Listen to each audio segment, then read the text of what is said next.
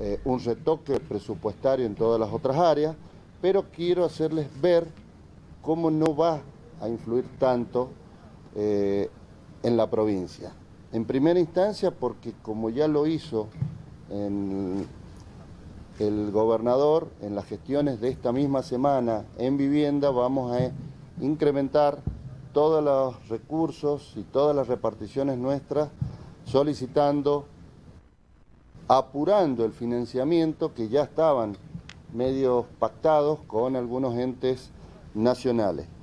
A eso hay que sumarle una gran cantidad de obras que me voy a tomar un momento para hacérselas notar que se están, acaban de iniciarse o están por iniciar y que todas son con presupuestos que no afectan al de la provincia, como son el túnel de sonda, que está próximo a firmarse el contrato, a adjudicarse y a firmarse el contrato en el mes de julio, con fondos BIT, la Ruta Nacional 40 Sur, que también es con fondos BIT, la sección 2, estamos gestionando la sección 3, hoy hay gente del BIT trabajando al respecto, podemos llegar a incluir la sección 1, todo esto pensando que de acá a diciembre del 2023 podemos llegar a tener las tres secciones de la 40 Sur en ejecución, todos con fondos del BIT.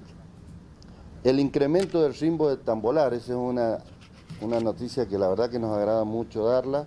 Empezó a trabajar esa hidrofresa que en su momento quedó atrapada. Hoy lo está haciendo con muy buen rendimiento. Están trabajando, eso ha generado, además del desvío del río, que se planteen muchos frentes de trabajos nuevos. Están trabajando en los campamentos porque de acá a fin de año vamos a incrementar el personal en la misma. Está pronto a salir la aprobación por parte de Energía del Perilago de Tambolar, que lo vamos a incluir con los mismos fondos de, la obra del Tambolar, lo mismo que la línea de alta tensión Uyun eh. En Enosa hemos tenido una gran posibilidad y la semana que viene va a estar viajando el presidente de OCE para terminar de concretar aproximadamente 7 mil millones en alrededor de seis obras de saneamiento, de cloacas, de agua potable y de ampliación de plantas de tratamiento. De, planta de tratamiento. Eh, todos financiados con fondos de Lenosa y que las mismas deberían estar iniciándose en el cuarto trimestre de este año.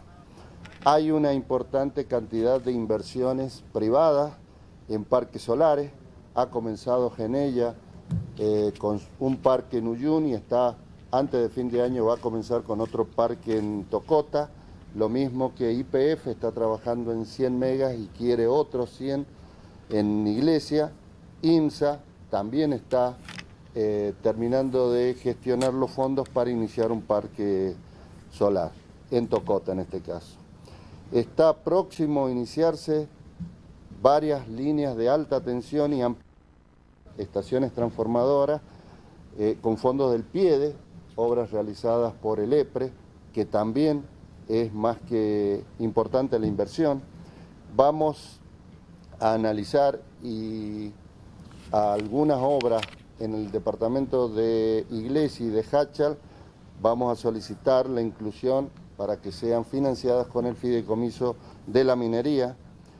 Antes de fin de año creemos que vamos a estar en condiciones, si terminamos de solucionar con la AVE el tema del terreno para la nueva terminal de ómnibus, esos fondos son del Ministerio de Transporte.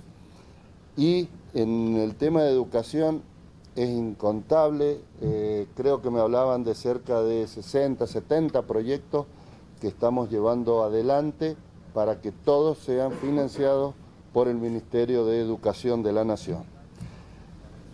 Por otro lado, se me deben quedar eh, algunas de estas, pero verán que no es menor la cantidad de obras y de financiamientos que están pronto a iniciarse y que no están afectadas, que no afectan al presupuesto de la provincia, por lo tanto no van a tener ningún problema. De cualquier manera, sí vamos a ver todas las que nosotros teníamos planificadas. Eh,